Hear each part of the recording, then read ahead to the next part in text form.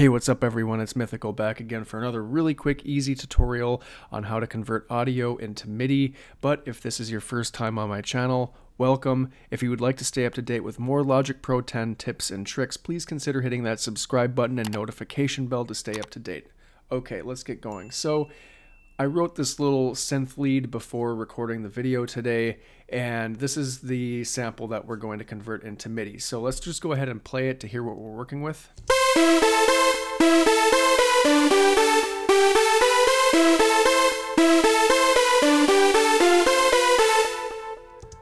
Cool. Okay, so the very first thing that we're going to want to do is go to our Flex Editor button and turn that on and make sure we are on Flex Pitch.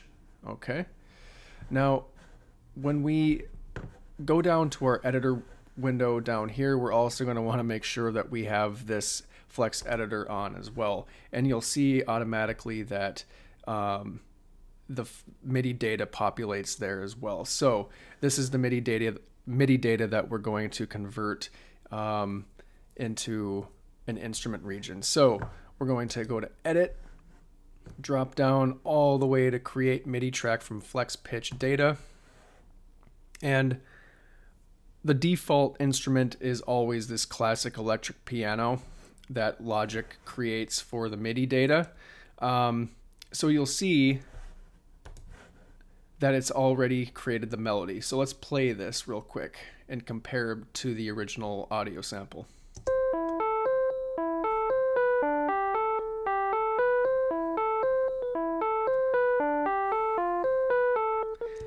As you can see, Logic did a really good job with analyzing the MIDI data, and the melody is really close. But since we had some delay and reverb on the original audio track, this is what kind of threw off the um, pitch analysis. So we are going to delete the ones that are green and these little purple ones because these are the artifacts that uh, the pitch data picked up. So let's go ahead and play that again.